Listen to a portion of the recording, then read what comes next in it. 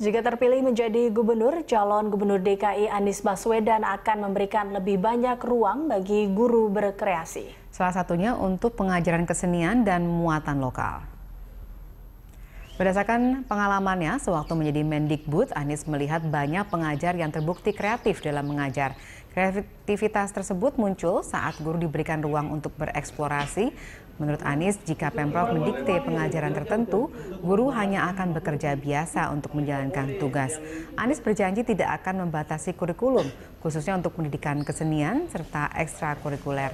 Anies yakin tengah, di tengah kepercayaan yang diberikan akan muncul terobosan baru dan sudah masukkan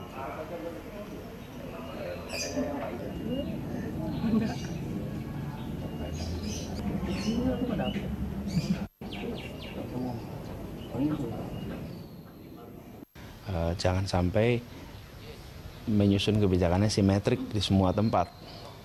Kasih ruang. Saya saya percaya bahwa guru kita kepala sekolah kita orang tua kita begitu mereka dikasih kesempatan untuk mengelola, mengatur, mereka muncul dengan terobosan-terobosan. Saya pernah alami itu ketika di Dikbud.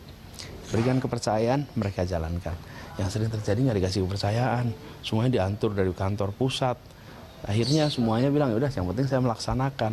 Tapi begitu dikasih ruang, tumbuhkan pada anak-anak kebiasaan positif, tumbuhkan pada anak-anak budaya-budaya eh, yang berakar di kita, oh kreativitasnya tumbuh besar sekali. Guru-guru kita kreatif,